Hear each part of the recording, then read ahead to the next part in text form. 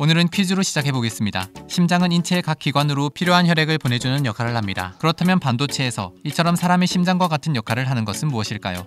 정답은 바로 전력관리 반도체입니다. 우리 몸의 심장과도 같은 존재인 전력관리 반도체 PMIC. 심장이 우리 몸의 각 기관에 혈액을 공급하듯 PMIC 역시 심장처럼 전자기기의 부속품들에 알맞은 전력을 공급해주는 역할을 합니다. PMIC는 스마트폰, 스마트워치, 블루투스 이어폰, 심지어 차량까지 전력이 필요한 기기에는 꼭 필요한 반도체입니다.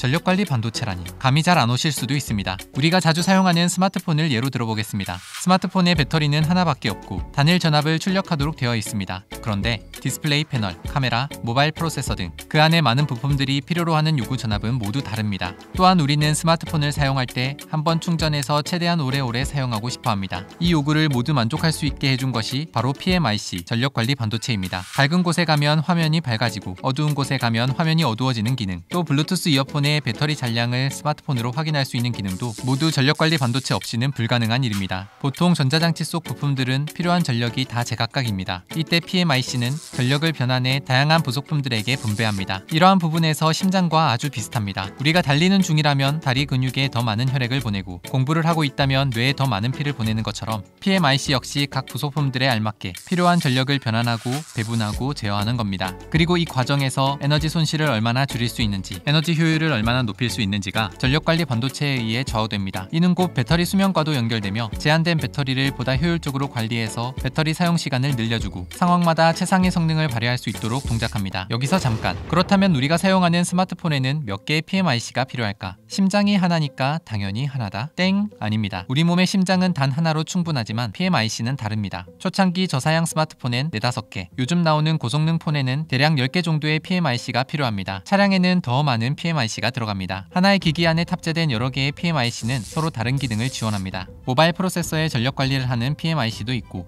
디스플레이의 전력을 관리하는 PMIC와 예전에 공부했던 이미지 센서용 PMIC도 있습니다. 당연히 메모리의 전력을 관리하는 PMIC도 있습니다. 지난 영상에서 알려드린 것처럼 모바일 프로세서는 system on chip으로 구성되어 있습니다. 칩 하나에 CPU, GPU, NPU, 모뎀 등이 담겨 있는 만큼 다양한 상황에 맞춰 적절한 전력 공급이 필요합니다. 여기선 정교한 전력 컨트롤이 필요한 모바일 프로세서용 PMIC 가 아주 중요합니다. 스마트폰에서 전력 소비가 많은 곳 하면 빠지지 않는 디스플레이. 같은 밝기라도 전력을 얼마나 효율적으로 쓰느냐에 따라 배터리 사용 시간이 달라지는 만큼 전력 관리 반도체의 성능이 중요합니다. 그리고 빼놓을 수 없는 부분은 역시 배터리 충전 등의 역할을 하는 PMIC입니다. 이 PMIC 덕분에 무선 충전 기능도 날로 발전하고 있어서 유선 충전 수준으로도 충전이 가능해질 겁니다. 동시에 고속 충전, 스마트폰의 잔여 동작 가능 시간을 계산해서 알려주고 배터리 충전 잔량을 정밀 측정하는 일도 합니다.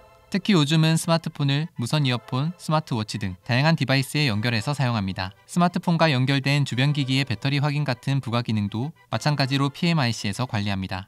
전력관리 반도체는 전력 반도체 중에서도 가장 큰 비중을 차지할 정도로 핵심 반도체입니다. 삼성전자는 2010년 전력관리 반도체 분야에 처음 진출한 후 스마트폰, 태블릿 모바일용 제품과 PC 게임기, 무선 이어폰에 탑재되는 전력관리 반도체를 출시해 왔습니다. 그리고 D램 모듈에 전력관리 반도체를 직접 탑재한 최신 DDR5 D램 모듈용 전력관리 반도체를 출시했습니다. 전력관리 반도체와 D램이 하나의 모듈에 위치하고 있기 때문에 전원을 안정적이고 빠르게 공급할 수 있어 메모리 성능은 향상되고 오작동은 최소화할 수 있게 되었습니다. 앞으로 전력관리 반도체의 수요는 점점 더 증가할 예정입니다. 사물 인터넷이 일상에 스며들수록 전력관리 반도체의 수요는 늘어날 것이고 자율주행이나 전기차에도 전력관리 반도체는 필수이기 때문입니다.